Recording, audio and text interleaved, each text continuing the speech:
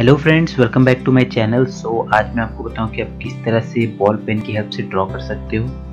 सो so, मैं draw कर रहा हूँ हेयर्स सो so, यहाँ पे आप देख रहे हो मैं जिस तरह से ड्रॉ करूँगा। सिंपल में जो स्ट्रोक्स हैं वो अप्लाई करूँगा। और जो आपको हेयर्स की डायरेक्शन दिख रही है सेम उसी डायरेक्शन में मैं हेयर्स की स्ट्रोक्स को अप्लाई करूँगा। सो so, आप देख रहे हो पहले मैं डार्कर एरियाज़ पर वर्क कर रहा हूँ।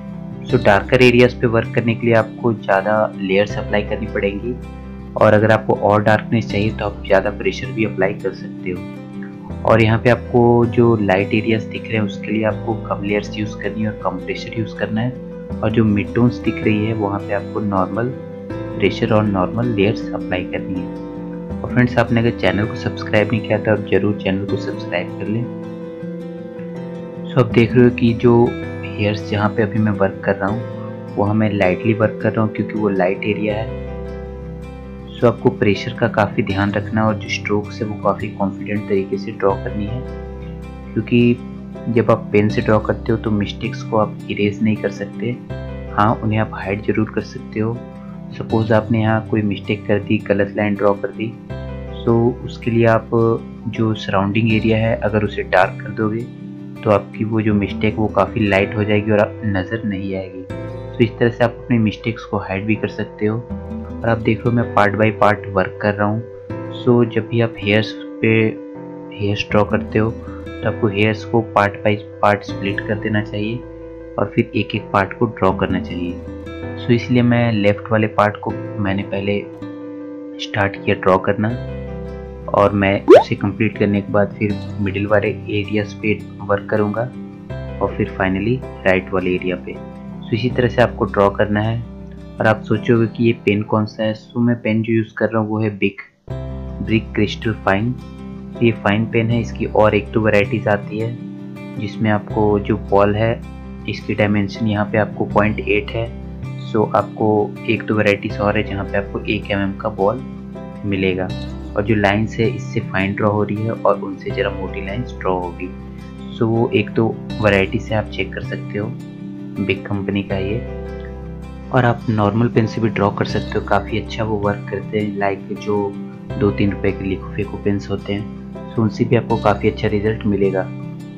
और मेन आपको फोकस रहना चाहिए कि आप ऐसा पेन यूज़ करो जिससे ज़्यादा इंक का फ्लो ना हो, क्योंकि आप देखते हो कि जब हम पेन से वर्क करते हैं तो हमारे जो इंक है वो काफ़ी ओवरफ्लो होने लग जाता है जो कि स्पॉट्स क्रिएट कर देता है हमारी ड्राइंग्स पे। सो so, आपको इस तरह से पेन सेलेक्ट करना है कि वो कम से कम इंक आपकी बाहर आए। और आपको पेपर भी रखना है जिससे आप उस इंक को क्लीन कर सकते हो जैसे कि मैंने अपने हैंड के नीचे रखा है। सो आप देख रहे हो उस पर कुछ स्पॉट्स आपको दिख रहे होंगे। सो मैंने वो क्लीन करने के लिए उसे रखा है। सो आप देख रहे हो कि मैं किस तरह से वर्क कर रहा हूँ। हाईलाइट्स आपको विजिबल हो रही होंगी लेफ़्ट साइड में। और जो डार्क एरियाज़ हैं सो आपको इसी तरह से लेयर बाई लेयर वर्क करते जाना और अपनी जो स्केच है, जो आप ड्रॉ कर रहे हो, उसे कम्प्लीटली बैलेंस तरीके से टोन्स को काफ़ी बैलेंस कर देना है। सो इसी तरह से आपको ड्रॉ करना है। सो अभी मैंने सिर्फ़ लेफ़्ट वाला एरिया कंप्लीट किया है।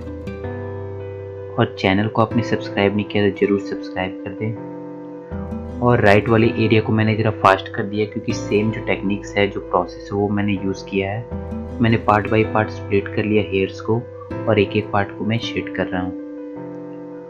सो so, जो पेन से हम शेडिंग करते हैं और जो पेंसिल से शेडिंग करते हैं वो काफ़ी डिफरेंट होती है क्योंकि पेंसिल से हम इरेज भी कर लेते हैं उसे ब्लेंड भी कर लेते हैं। बट पेन से हम इरेज भी नहीं करते और उसे ब्लेंड भी नहीं कर सकते हैं। जो भी हम ब्लेंडिंग करते हैं वो पेन से ही करते हैं। तो इसलिए काफ़ी केयरफुली आपको वर्क करना होता है। मिस्टेक्स होने के बाद आप उसे इरेज भी नहीं कर सकते। तो इन चीज़ों का आपको ध्यान रखना है। और आप देख रहे हो कि हमारे जो हेयर्स है, जो मैं ड्रॉ कर रहा हूँ, वो मैं किस तरह से ड्रॉ कर रहा हूँ। और इसकी और भी एपिसोड्स में अपलोड करूँगा पार्ट बाय पार्ट जिसमें मैं फेशियल शेडिंग करूँगा और उसमें मैं यूज़ करूँगा क्रॉस हैशिंग हैशिंग तो ये सारी टेक्निक्स मैं यूज़ करूँगा उसमें सो आप काफ़ी कुछ सीख सकोगे वहाँ से भी। और हेयर्स में भी मैं यूज़ कर सकता था बट मैंने नॉर्मली हेयर्स ड्रॉ किए, काफ़ी टाइम स्पेंड करके। अगर मैं क्विक वीडियो बनाता तो मैं काफ़ी ईजिली क्रॉस हैशिंग यूज़ करके भी हेयर्स को कंप्लीट कर सकता था।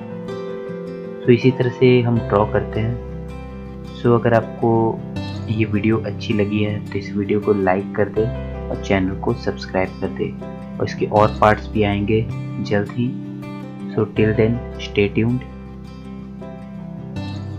and thanks for watching.